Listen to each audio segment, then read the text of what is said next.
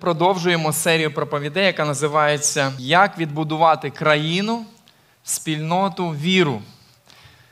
Ми не втратили надію на перемогу, очікуємо перемоги. І тому обрали цю серію проповідей по книзі Ездри та Неємії. І ось сьогодні ми завершимо книгу Ездри, останні два розділи. Можливо, хтось з вас бачив повідомлення, яке я в п'ятницю в церковний чат скидував, щоб ми могли прочитати за п'ятницю, суботу, останні два розділи, і будемо говорити з вами сьогодні про це. Знаєте, нещодавно е, мені попалася стаття з е, сайту Уніан, це стаття від 13 червня. Це інтерв'ю з гендиректором компанії Microsoft е, Сатя Нандела, звати цю людину. І він назвав головну рису успішних людей. Цікаво, от що світські люди, значить, що таке що це компанія Microsoft? Давайте. Компанія Microsoft відома на увесь світ своїм продуктом операційною системою Windows, яка встановлена на кожному комп'ютері. Тобто в новій пошті, ось тут поруч є відділення, там стоять, якби стоїть Windows, програма цієї компанії. Да? На Укрпошті, в багатьох в нас в кого вдома є комп'ютери. І ось гендиректор цієї корпорації в інтерв'ю поділився, що він вважає найважливіша риса успішних людей. Він пригадав випадок, який з ним трапився в 90-х роках, коли він е, хотів поступити е, на роботу е, у компанію, і йому задали таке запитання. Значить, були різні різні запитання в інтерв'ю. Одне з запитань було таким: що б ви зробили, якби побачили, що на перехресті впала дитина? Треба було швидко зреагувати і відповісти. І він сказав е, наступну річ: я б побіг би до телефонної будки, і що? І звітом подзвонив би 911. На що інтерв'ювер, який проводив це опитування, сказав: ви вчинили невірно. На жаль, це невірна відповідь. Ви не проходите цей тест. Е, вам потрібно розвивати емпатію, сказав цей інтерв'ювер до цього майбутнього директора. Що таке емпатія? Це співчуття, так? Адже коли дитина плаче, то ви берете її на руки і обіймаєте, а не біжите кудись кликати про допомогу. І ось далі в цій статті описано, що до сих пір цей гендиректор вважає найуспішнішою рисою впливових людей саме співчуття іншим. Закінчується стаття думкою, що є дослідження від Management Research Group, така компанія, яка проводить дослідження, що емпатія є найбільш значущим фактором ефективної поведінки. Емпатичні лідери мотивують свої команди на повне розкриття потенціалу, звертаючи увагу на їхні потреби та внесок. Світські люди зауважують, що співчуття дуже важливе. І от десь сьогодні наша тема наших роздумів також пов'язана буде з цим, друзі. Ми будемо говорити про духовну емпатію, про молитовну емпатію в нашому житті. І останні два розділи книги Ездри, 9 і 10, вони досить об'ємні. Ми будемо їх читати цілком, бо там разом 59 віршів. І тому візьмемо лише один такий блок до нашої уваги. На ньому ми більше з вами зупинимось, а саме молитву Ездри. І ось про це ми поговоримо. Тому, відповідно, і тему я пропоную таку для спільних роздумів, як молитва вболівання. Молитва вболівання. Е, для когось з вас це, можливо, новий вид молитви. Ну, є, дивіться, різні категорії молитви. Так? Є молитва особиста, щось приватне, коли ви з Господом наодинці. Є молитва публічна коли хтось на сцені, от ми молилися разом, виходив брат Ігор, чи Віталій ведучий, чи ті, хто ведуть прославлення, моляться в голос, ми всі присутні, і це публічна молитва. Є такі категорії молитви. Є молитва палка і полум'яна, така завзята, коли ми щось дуже сильно переживаємо за щось, а є молитви холодні досить в нашому житті, також вони нам знайомі. А тут мова про нову категорію. Молитва вболівання. Що означає слово вболівати? Словник подає таке значення, що це гостро, гостро переживати у зв'язку з чим-небудь, або глибоко сумувати за ким чи чим-небудь. Тобто ми поговоримо про один такий е, вид молитви, коли є досить глибоке відчуття, коли ми переймаємося ситуацією іншої людини чи навіть країни і приносимо це до Бога. Але давайте повернемося до нашого, до свого наболілого. Коли ми будемо говорити далі про біль інших, бо молитва вболівання, ви вже зрозуміли, да? мабуть, щось пов'язане з біллю інших. Ми не можемо ігнорувати власний біль. В нас є, друзі, власні болі. Ми мусимо це визнати. Болі щодо стосунків, найболісніша сфера життя це стосунки з оточуючими.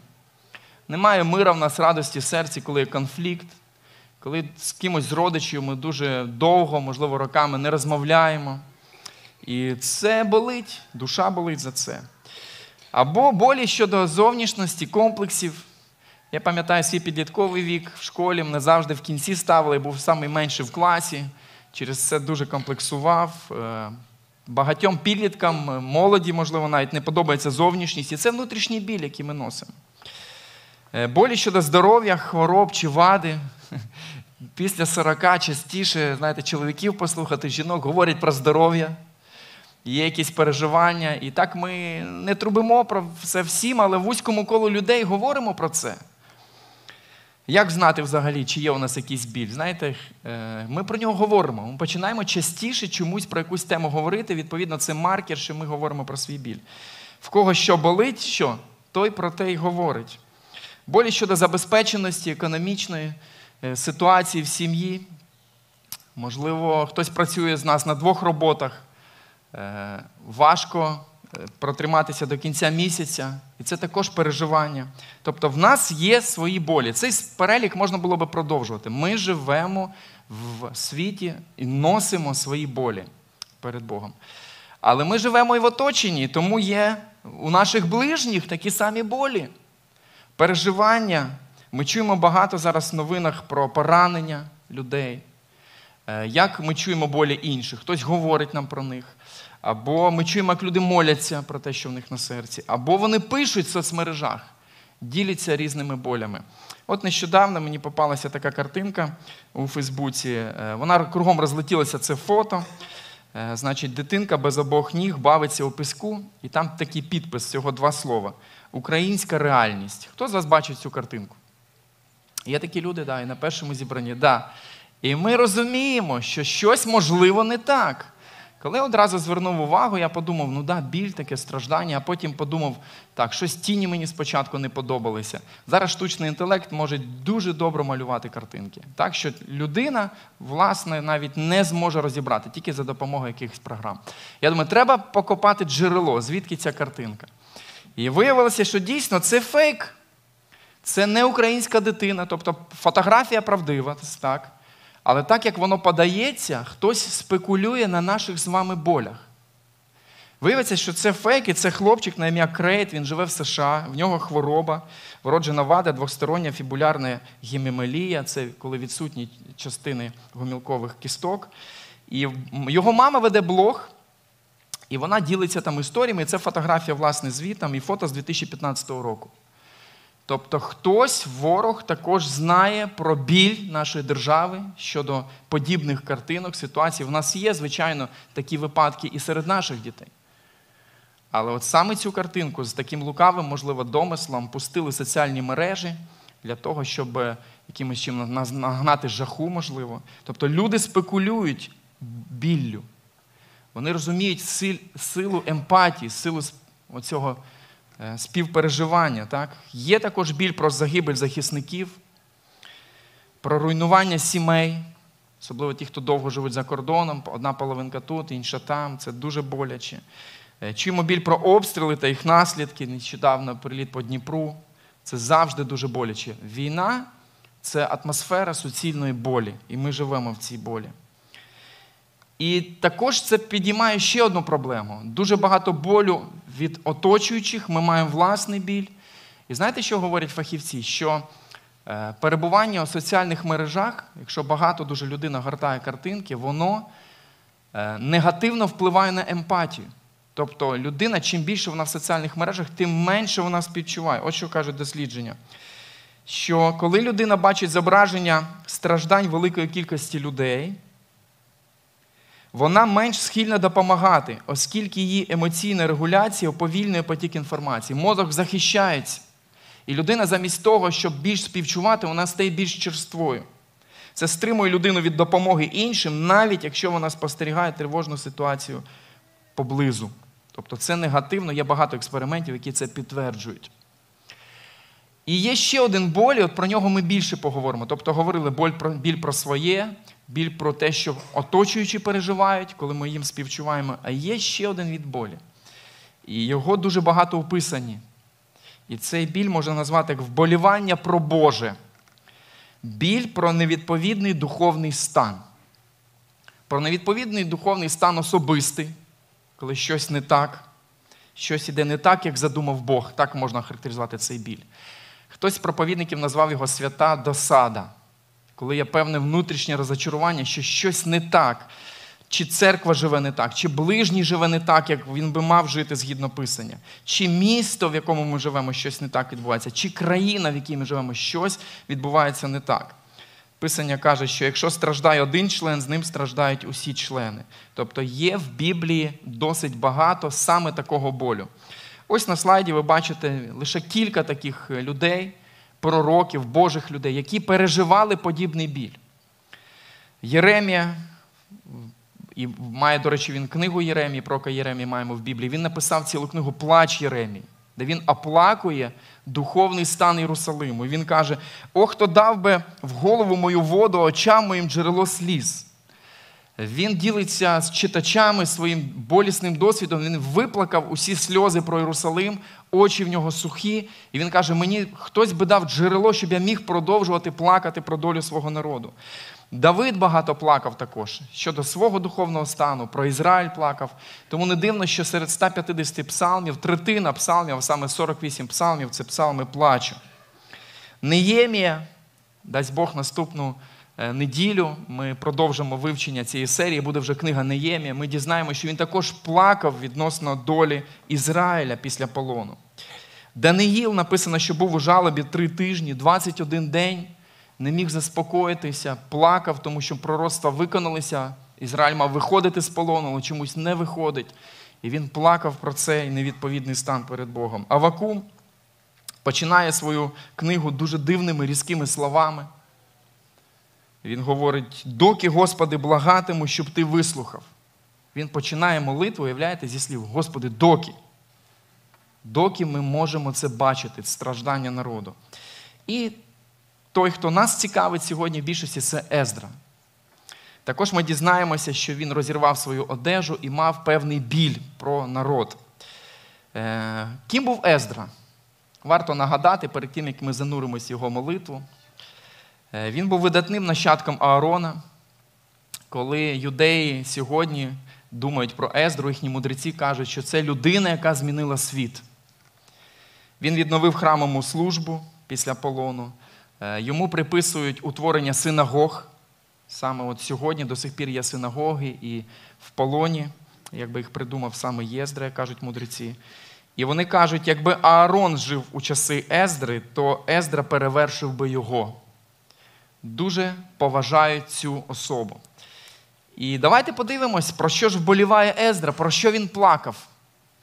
Чому ми можемо сказати, що він мав оцю молитву вболівання? Так? І про що вона була? Розділи 9, 10, сторіночка 501. От я би попросив, навіть якщо ви звикли з телефону користуватися там чи з планшету, давайте е, відкриємо паперову Біблію. Є можливість в більшості з нас, вона є в, е, перед вами у цих кріслах. Сторіночка 501. Для чого? Я би хотів, щоб ми занурились в його молитву щоб коли я буду читати, і буде це, звичайно, також на слайді, але щоб ви слідкували от саме списання, щоб ми могли, знаєте, неспішно от якби просочитися цією молитвою. Можливо, частково ця молитва стане нашою власною молитвою сьогодні також цей ранок. Будемо читати е, з 9 розділу в більшості. Ось. І якщо ми подивимось е, третій вірш 9 розділу, сторіночка 501. Ми бачимо реакцію Єздри, з неї ми почнемо. І пізніше вже сама молитва. Коли я про це почув, то роздер на собі одяг, навіть свій плащ, рвав волосся на своїй голові та зі своєї бороди сидів сумний та розгублений. Навколо мене зібрались усі, котрі мали страх перед словом Бога. Е, якась дивна ситуація, Ездра роздирає свій одяг. Знаєте, що коментатори кажуть? Так зазвичай в тій культурі робили люди, в яких хтось помер. Причому помер не хтось сторонній, а близька людина. І тоді людина вона сідала перед Богом, роздирала свій одяг. Одяг був дуже дорогий. Тільки багаті люди могли собі дозволити кілька там мати кілька речей з одягу. І от Ездра роздирає свій одяг і навіть свій плащ, зовнішній одяг, рве волоси на голові, на бороді. Я пробував якось рвати волоси, просто спробувати. Це дуже болісно, і це також вираз болі. І інші люди побачили, про що він плаче, і вони зібралися е, до нього. Вони приєдналися. І ми бачимо, як ці люди також далі вони визнають колективну відповідальність. Але що відбулося, друзі? Хто помер в Ездри? Можливо, дружина? Ні, про це не говорить текст. Можливо, хтось з дітей, не дай Бог, да, чи з родичів. На що Ездра так відреагував? Для цього треба повернутися і прочитати перший і другий вірші. Давайте подивимось. Там є такі слова в перших других віршах. Ізраїльський народ, які священники з левитами, не відокремились від чужеземних народів. Ага, змальовується певна проблема. Адже вони брали їхніх дочок собі та своїм синам за дружин, так, другий вірш читаємо. Так що святе насіння змішали з народами тих країв, і в цьому віроломстві начальники і провідники виявились першими. Ось що відбувається, контекст. Ездра повернувся з полону. Божий народ повернувся лише маленькою частинкою. Далі в молитві ми будемо бачити, як Ездра постійно говорить про цю маленьку частинку. І ось цей народ, вони порушують заповідь. В чому була проблема? Проблема була в одружених. Божий народ Ізраїль, вони мали одружуватися євреї на євреях. Але вони взяли дружин з чужоземних народів і таким чином порушили те, що написано в книзі Вихід 34, 16. А що там написано? Послухайте, як звучала заповідь, яку вони порушили.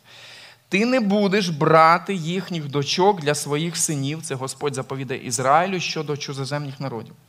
Оскільки їхні дочки чинять розпусту зі своїми богами, кликатимуть до розпусти твоїх синів з їхніми богами.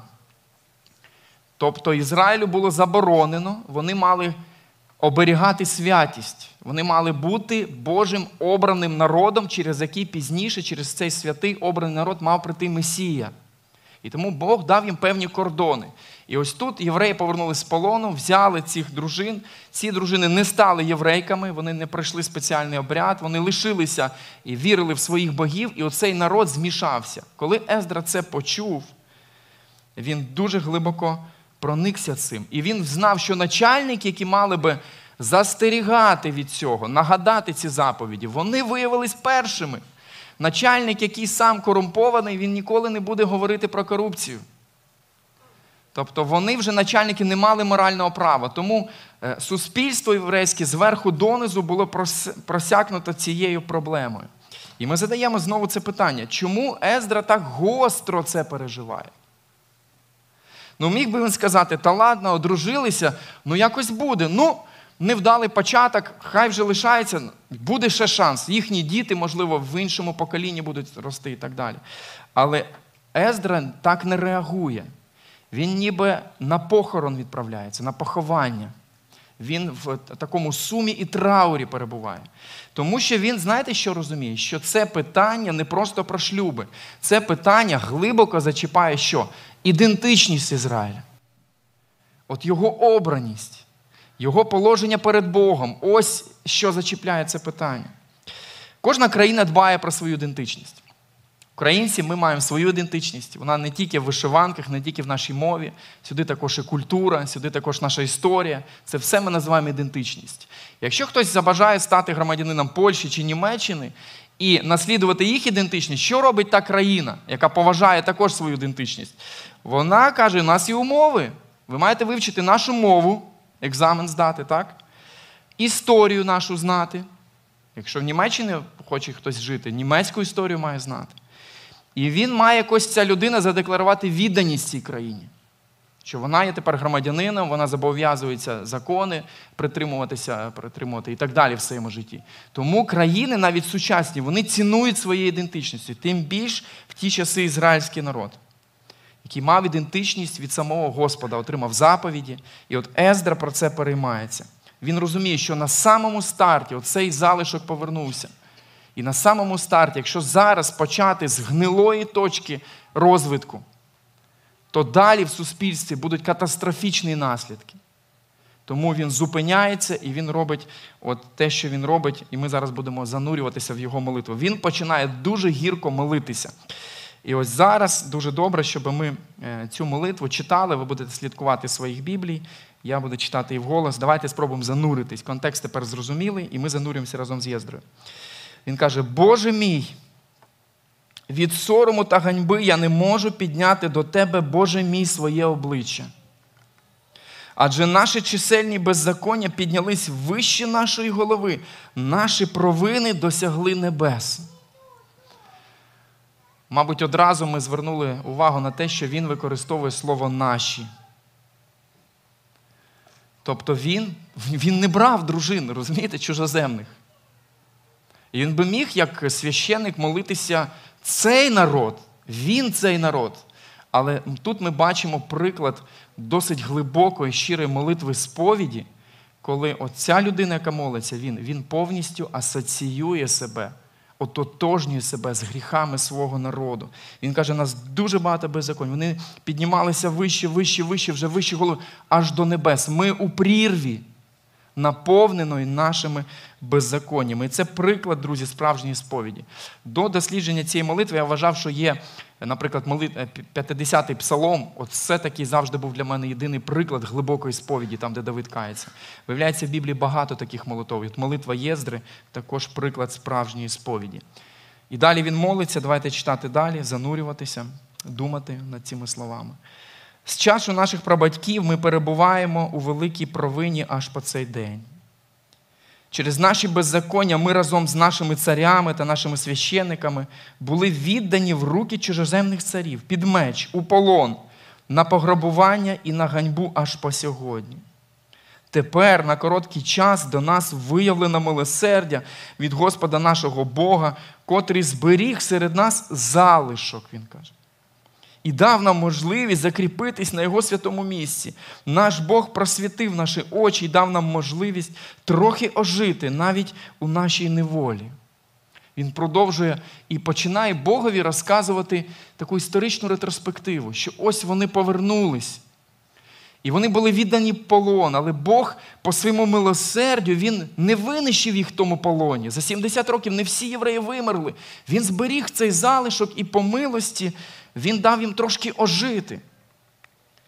І далі дев'ятий вірш. Хоч ми були рабами, але і в тій недолі Господь наш Бог не залишав нас, Він згадує полон.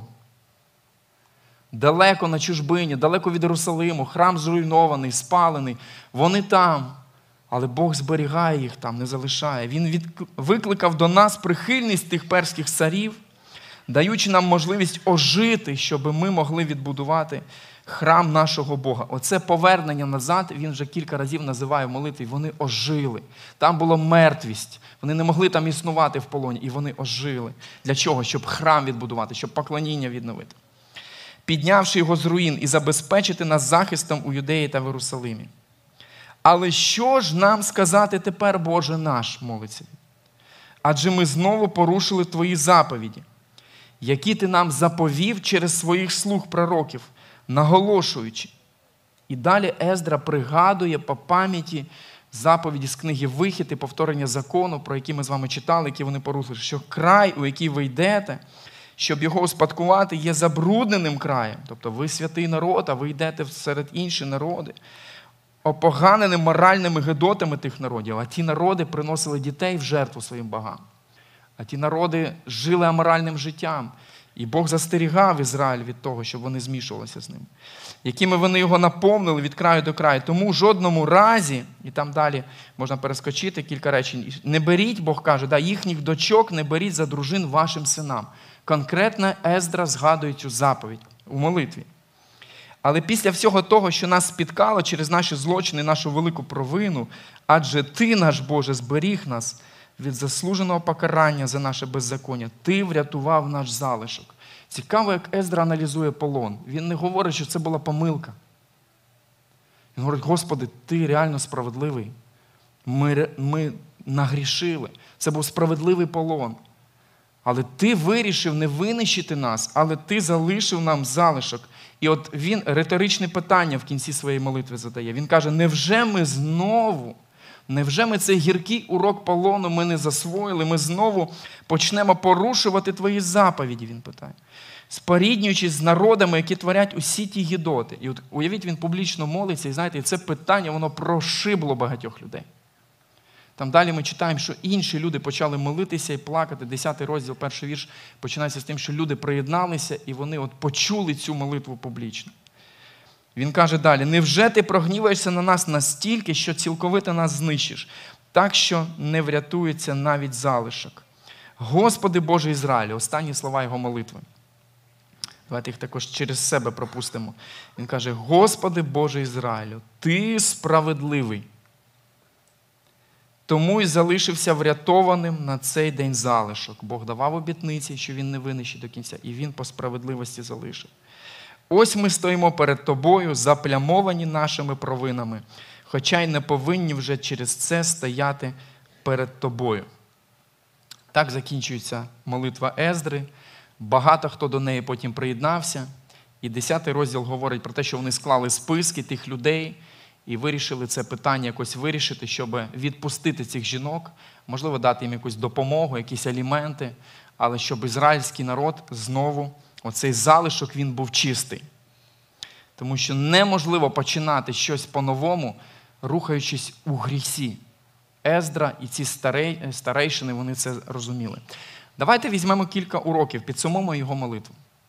По-перше, дуже дивна молитва, знаєте, якщо ви кілька разів її прочитаєте або зараз читали, ви зауважили. В ній немає жодного прохання. Ездра ні про що не просить. Але ця молитва дуже глибоко чіпляє. Він не просить про щось своє.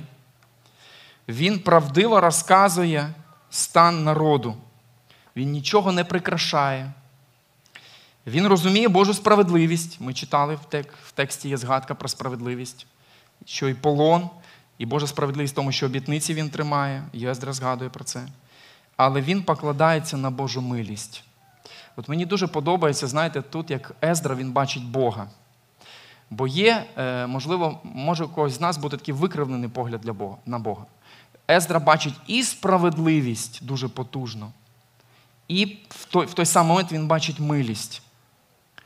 Бо якщо в нашій уяві про Бога є тільки справедливість, ми будемо в більшості уявляти його Богом як поліцейським, який дивиться за нашими гріхами, що ми, коли ми наступний раз грішимо, щоб покарати нас, це викривлений погляд на Бога.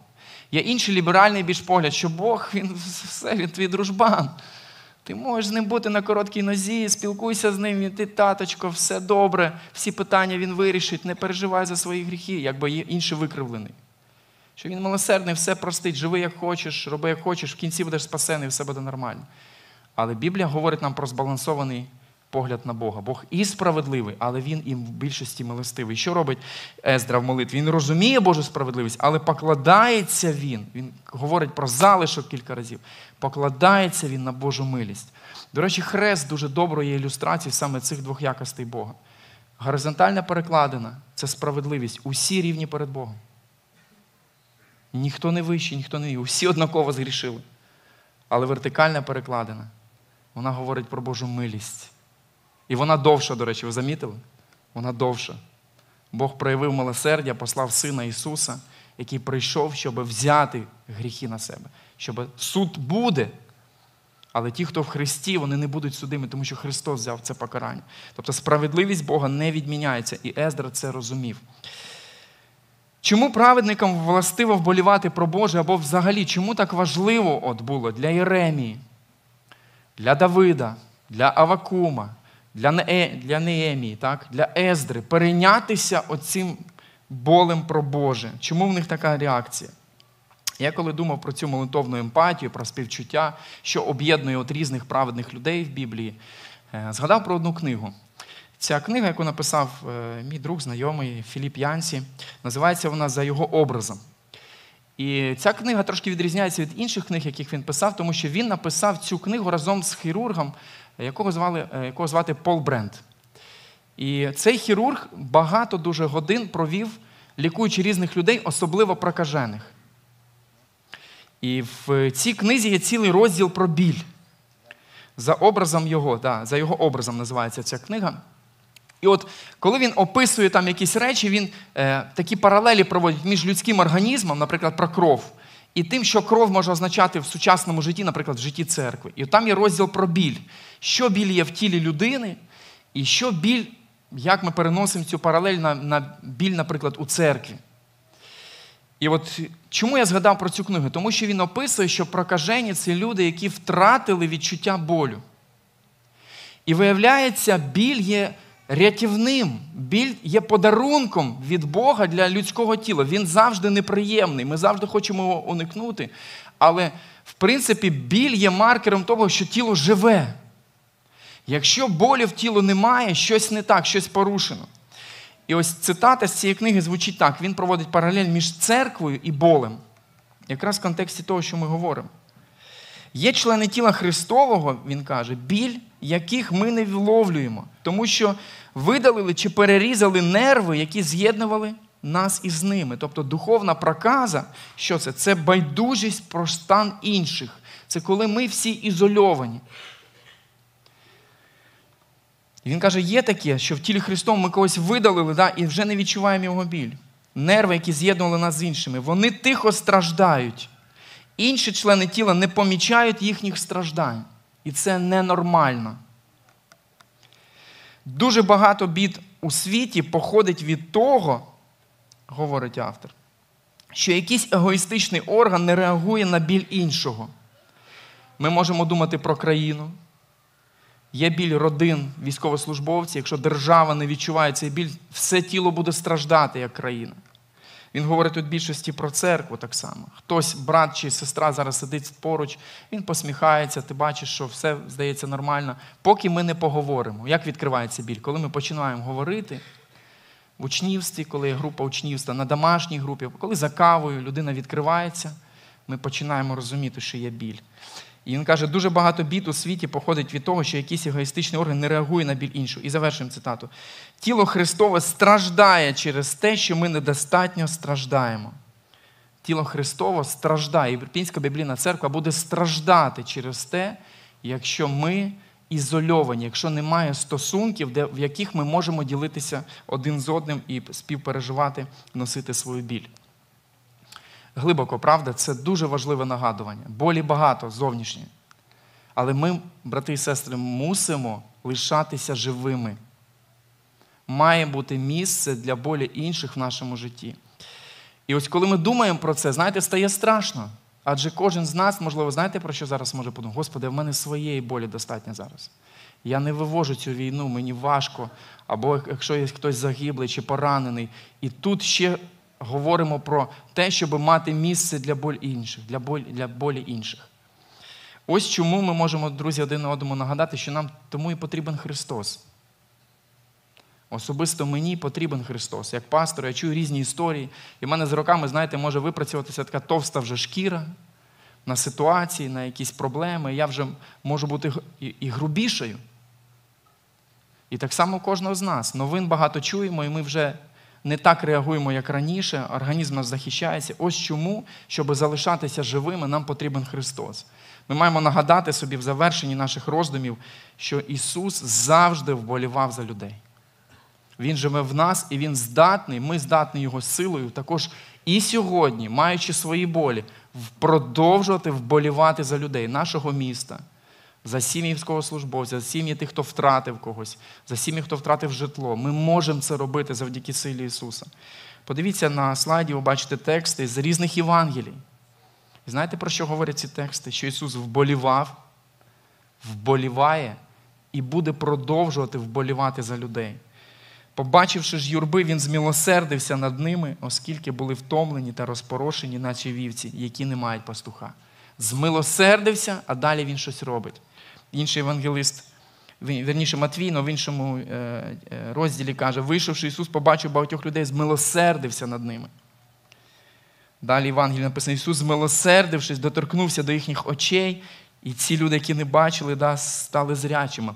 Дуже важливе слово. Ісус не робив зцілення технічно. Це слово ми можемо сьогодні його в контексті тому, що думаємо, помітити він зупинявся і проявляв милосердя, оцю духовну емпатію, якої ми потребуємо. Змилосердившись, простягнув руку, доторкнувся до нього та й каже йому: Хочу стань чистим. Змилосердився і прокажений чистим став. Побачивши її, Господь змилосердився там про вдову, якої син єдиний помер. Ісус зупинив цю процесію і воскресив, повернув її сина до життя. Що це означає? Що в нас є завжди, друзі, шанс на каяття. Ісус милосердний. Бог справедливий, горизонталь. Але про що говорить Хрест? Але милосердя воно більше. Не знаю, як для вас це дуже добра новина. Що б ми не зробили, завжди можемо йти до Божого милосердя. Саме про це молився Ездра. Він знав, що Боже милосердя для маленького залишку воно є. І там далі, до речі, чим закінчилась книга, вони зібралися і вони вирішили дійсно відділити, відпустити цих жінок. І наступна книга Ніємія буде розказувати про те, як відбудовувався вже Єрусалим. Приходимо до застосування останні кілька думок. Е, коли ми проявляємо духовну емпатію до інших, ми можемо це робити по-різному. Знаєте, є різні рівні, якщо хочете, вболівання. Перший рівень можна назвати, коли ми про молитву говоримо. Ми почули якусь потребу. Хтось в чаті ІБЦ пише, помоліться. Е, часто є дуже добра звичка поставити що? Що ти помолився. Знаєте, такий значок.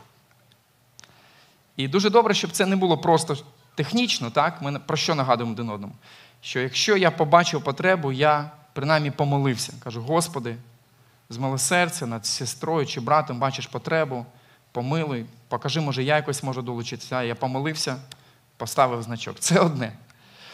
Але це може бути рівень разовий пакетик. Знаєте, є одноразовий чай, ти його один раз запарив, і наступний раз він вже не смачний, і якби потім. В чому ідея? Разова молитва це коли ти як в зуві забув. Да? Тобі говорили, ти помолився, а потім через 4 дні вже не пам'ятаєш, про що ти молився, про що ця людина просила. Ти просто був тут і зараз, в той момент, помолився і все. Це один рівень. Потім, хто хоче далі щось глибше, ти думаєш, слухай, брат щиро чи сестра поділився, ну треба підтримати брата. І ти береш і собі ставиш нагадування в телефоні. Щоб просто, коли свої болі приносиш, молишся ввечері, там, вдень, щоб ти згадував про брата. Це вже більше ти перейнявся біллю. Це вже не разовий пакетик, щось глибше, так?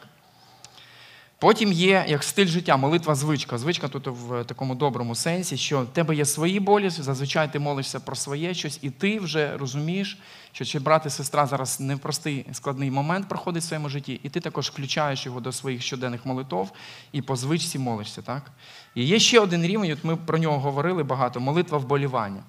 Чому він е, є, має якусь певну таку відмінність? Тому що тут мабуть, мова не тільки про фізичні потреби. Брат попросив молитися про фізичні потреби там, чи сестра. Але ти розумієш, що найголовніше це її стан перед Богом. Оця ідентичність. Щоб брат і сестра, не маючи роботи, не маючи коштів, мав не тільки кошти, щоб він не втратив саме дорогоцінне стосунки з Богом, глибину цих стосунків. Щоб Бог через цю кризу вчив брата чи сестру. Розумієте, така молитва, вона глибша. Вона якби суть суть показує да, наших стосунків. Вболювання, коли ми сфокусовані на ідентичності християнина, за якого ми молимося. І питання останнє на застосування. Чий біль я розділю цього тижня? Закінчиться це е, богослужіння. Ми, друзі, відправимось в тиждень. Ми не знаємо, що він нам принесе. І знову буде біль. Буде ваш власний біль, він нікуди не пропадає так так швидко. Буде біль, який ми почуємо. Чи знайдеться у нас місце для іншої людини? Ось таке питання.